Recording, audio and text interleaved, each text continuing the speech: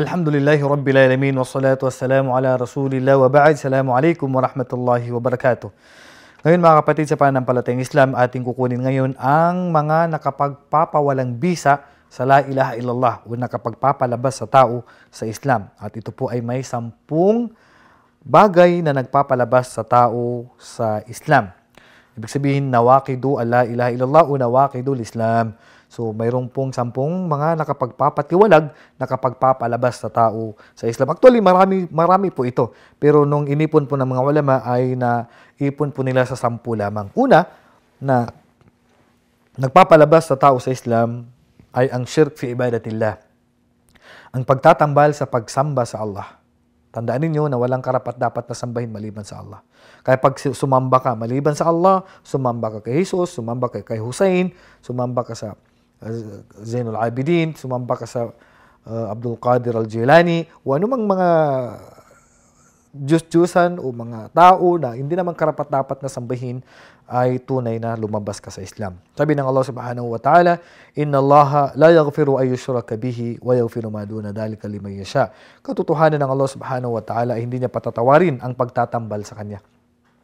Ang sumamba maliban sa Kanya وَيَغْفِرُ مَا دُونَ ذَلِكَ لِمَنْ يَشَاءُ At ang patatawarin lamang ng Allah ay ang mga kasalanan na maliban sa pagtatambal.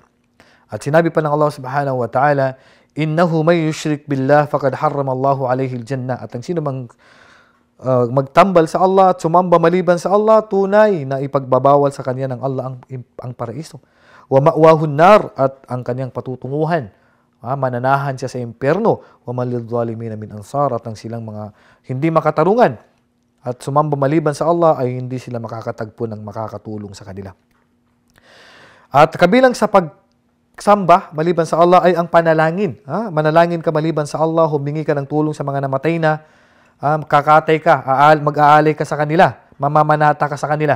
So yan po ay napapalabas po sa Islam ang isang tao. Pangalawa, wa bain Allah ta'ala wasait yad'uhum wa yas'aluhum asy-syafa'a wa yatawakkal 'alaihim.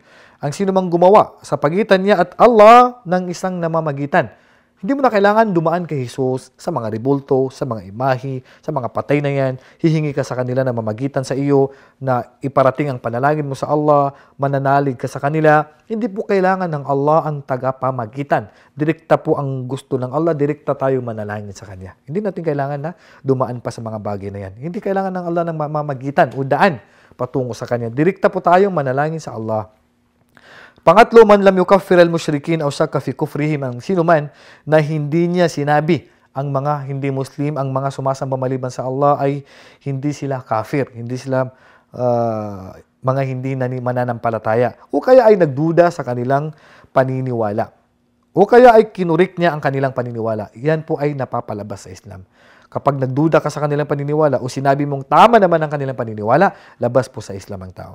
Pang-apat, man i'taqada anna hadi hadi ghairi Nabi sallallahu alaihi wasallam akmal min hadihi aw anna hukmuhu ahsanu min hukmihi.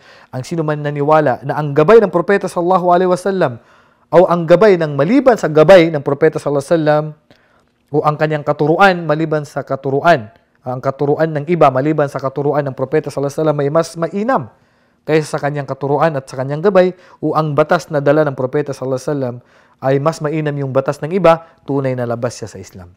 Ha? Huwag mong sabihin na mas mainam ang batas ng iba, ang gabay, ang aral ng iba kaysa sa aral ng propeta sallallahu alaihi wasallam dahil mapapalabas po kayo sa Islam. Panglima, man abagada shay'an mimma ja'a bi Rasul sallallahu alaihi wasallam walau amila bihi. Ang sino man nakamuhian niya, ha? ang isang bagay na dala-dala ng propeta sallallahu alaihi wasallam. Sasabihin niya, Haram yan. Hindi yan pwede. Kamu, kamumuhian niya kahit nang gawin pa niya. Ah, dali kabi anahum karihu ma anzalallahu fa ahbata amalahum dahil sila ay kinamuhian nila ang ibinaba ng Allah. Kaya pinawalang bisa ng Allah ang kanilang mga gawaing mabubuti.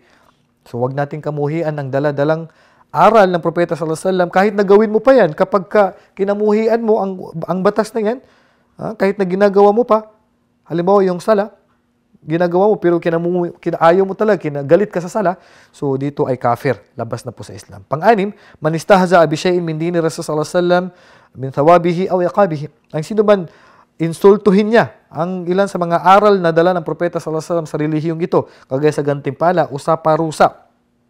Sabihin mo na, ah, nakita mo bang paraiso? Mamaliitin mo.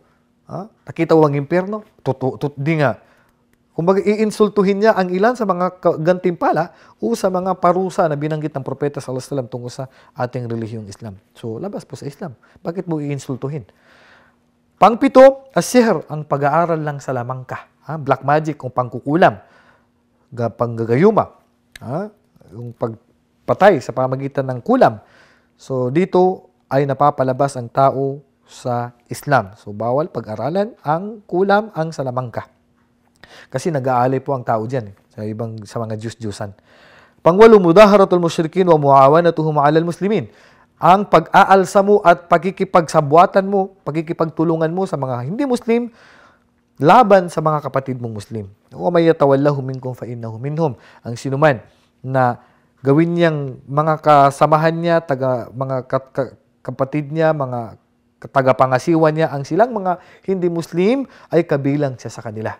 So mapapalabas ka sa Islam kapag umalsa ka at nakipagtulungan ka sa mga hindi Muslim laban sa kapatid mong Muslim, labas po sa Islam yan. Pangsya, man i'taqada anna ba'd an-nas yas'uhu al-khuruj an syariati Muhammad sallallahu alaihi wasallam.